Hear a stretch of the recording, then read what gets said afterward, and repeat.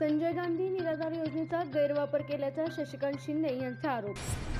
सरकारी योजनेच्या माध्यमातून काही लोकांची मते खरेदी करायचा प्रयत्न. खरे लाभार्थी बाजूला ठेवून आपले कार्यकर्ते आणि पक्षाचे लाभार्थी वाढवणाऱ्यांची चौकशी करावी शशिकांत शिंदे यांची मागणी.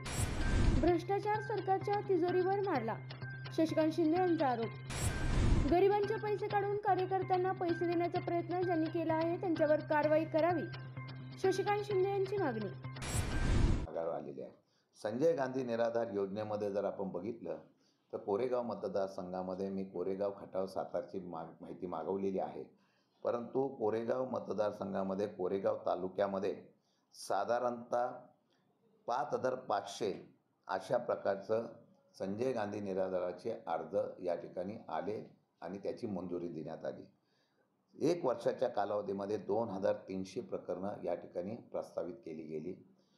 आणि ही प्रस्तावित करत असताना कालच्या याच्यामध्ये चारशेपैकी शंभर बोगस त्या ठिकाणी प्रकरणं केलेली आहे म्हणजे आता रेशो आणि अंदाज बघितला तर त्यामध्ये जे लाभार्थी खरे आहेत त्यांना दिलं गेलं नाही कारण ते विरोधी पार्टीतले आहेत म्हणून दिलं गेलेलं नाही आहे त्यांचा हक्क होता त्यांना दिलं गेलेलं नाही आहे आणि तशाच पद्धतीने काही लोकांचे बंगले आहेत काही लोक शासकीय नोकरीत आहेत. काही लोकांना त्या ठिकाणी काही लोक तिथं राहत पण नाहीत. अशा लोकांची नावं घेऊन प्रचंड प्रमाणामध्ये भ्रष्टाचार केलेला आहे. हा सरकारच्या असलेल्या योजनेचा गैरवापर करून आपल्या कार्यकर्ते किंवा आपल्या पाठीमागं जसं तुम्ही लाडकी बहीण योजनेमध्ये आम्हाला तुम्ही मत नाही दिलं तर आम्ही करतो. तशा प्रकारचं सरकारी पैशातून काही लोकांची या योजनेच्या माध्यमातून मतं खरेदी करण्याचा प्रकार झालेला आहे. यामध्ये ही पारदर्शकता असते तिथे या संजय गांधी निरोधार योजनेचा अध्यक्ष असतो. त्याच्याखाली एक कमिटी असते.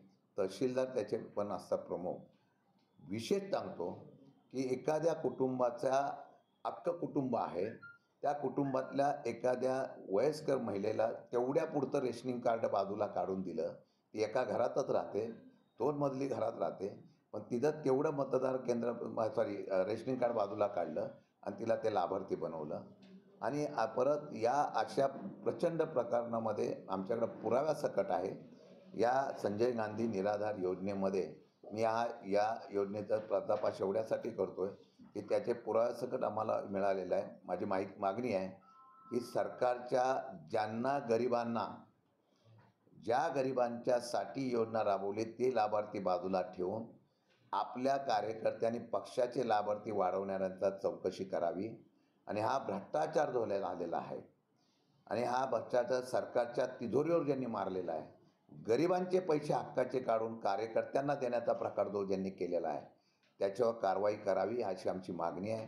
जर ही कारवाई केली गेली नाही तर याच्या संदर्भात आम्ही आंदोलनाची भूमिका घेऊ.